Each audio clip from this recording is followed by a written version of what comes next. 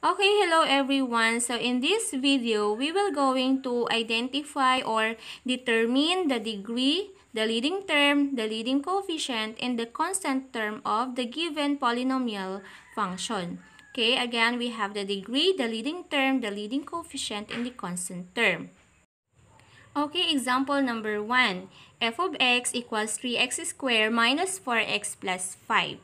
So, find the following, the degree, the leading term, leading coefficient, and the constant term.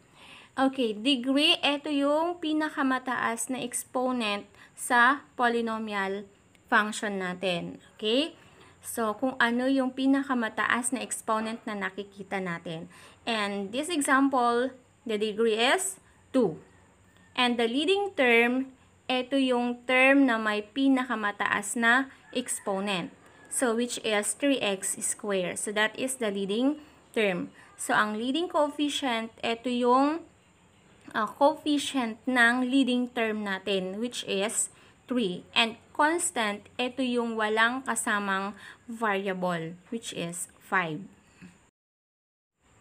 Okay, number 2, we have f of x equals 4x minus 5.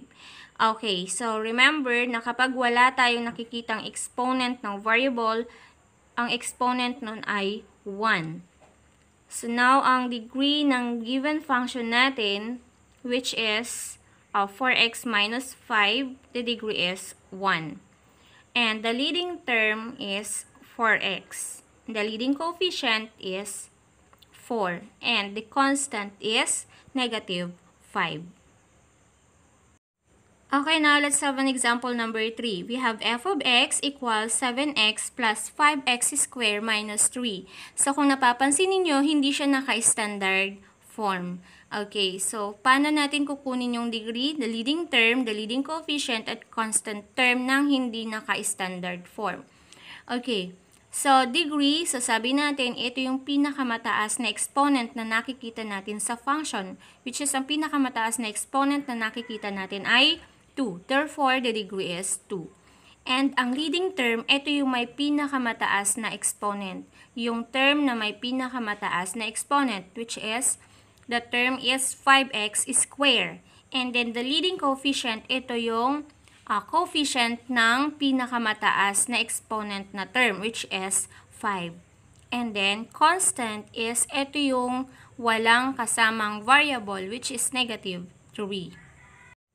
Okay, example number 4. f of x equals negative 7x squared plus 2x raised to 5 minus 8. Okay, again, hindi siya nakaayos sa standard form.